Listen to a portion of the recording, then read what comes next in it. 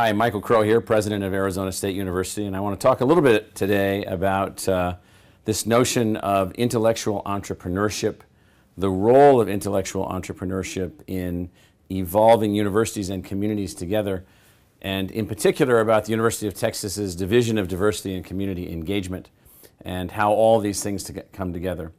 One of the things a lot of people don't realize is that universities are at their core adaptive organizations. They drive adaptability they drive community change. They drive community outcomes. And often we've moved into a mode where somehow we think we're sequestered behind the ivory towers or we're sequestered behind the walls of the university, when in fact we're not. And one of the leading programs in the country focused on this notion of taking academic intellectualism, intellectualism and driving it forward in an entrepreneurial way is the program at the University of Texas under, uh, under Rick.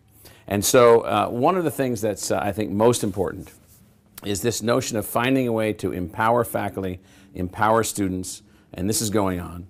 And uh, Professor Cherwitz and his team are moving this type of program forward in a way where they're focusing on how do you enhance the impact of the university through intellectual entrepreneurship, uh, how do you expand diversity, expand community engagement, change the way that the university has its interface with the uh, broader community, how do you produce, in a sense, a deeper, more entrepreneurial, more adaptive connection to the community between the academics in their, uh, in their uh, roles as academics and the community and its need for change and adaptation. The program at the University of Texas is one of the uh, leading programs uh, in the country.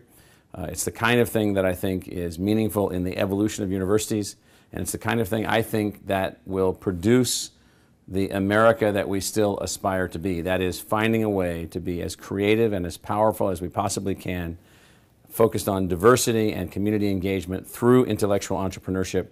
And the program at the University of Texas is leading, leading the country in this space.